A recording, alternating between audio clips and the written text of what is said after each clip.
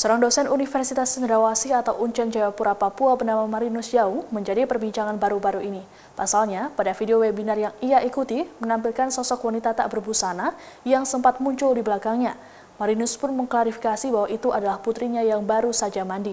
Kendati demikian, Marinus geram dengan narasi yang beredar di media sosial bahwa dirinya menyewa seorang pekerja seks komersial. Dilansir oleh Kompas.com Kamis 16 Juli 2020, Marinus ketika dikonfirmasi menyayangkan dengan narasi liar yang beredar luas di media sosial. Hal ini lantaran sang anak yang tak tahu apa-apa menjadi korban penyebaran informasi tak benar ini. Ia menyebut hal tersebut sebagai pembunuhan karakter. Tangkapan video serta gambar yang memperlihatkan dirinya dan sang anak disebut oleh Marinus tersebar hingga ke luar negeri. Hal itu diketahui oleh dirinya melalui telepon dan pesan dari para koleganya. Pihaknya pun kini telah berkonsultasi dengan Cybercrime Mabes Polri untuk melacak penyebar informasi itu. Dirinya akan melaporkan seluruh pihak yang menyebarkan informasi tak benar tersebut. Total sudah ada 302 orang yang akan dilaporkan oleh Marinus. Untuk diketahui sebelumnya, potongan video yang menampilkan Marinus yang tengah menjadi pembicara webinar beredar di media sosial. Dalam video tersebut, anak perempuan Marinus yang tengah tak berbusana tiba-tiba muncul di belakangnya.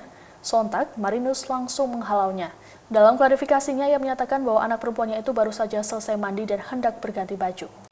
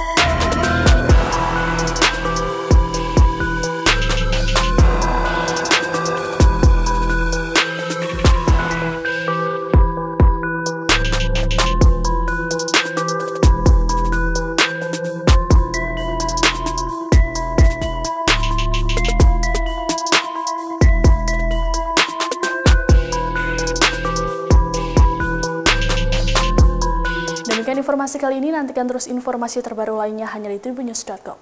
Terima kasih sudah nonton. Jangan lupa like, subscribe, dan share ya.